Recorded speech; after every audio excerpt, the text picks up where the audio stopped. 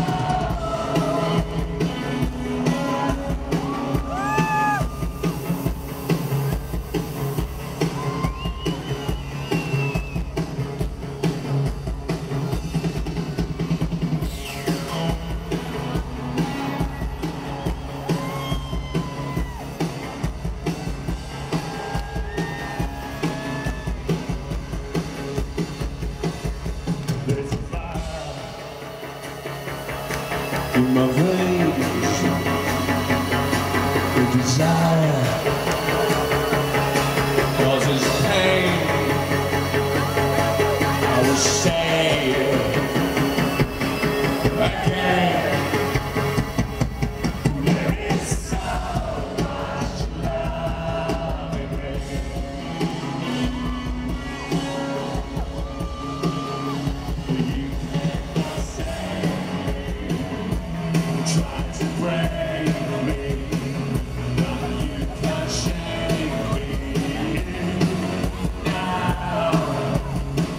Be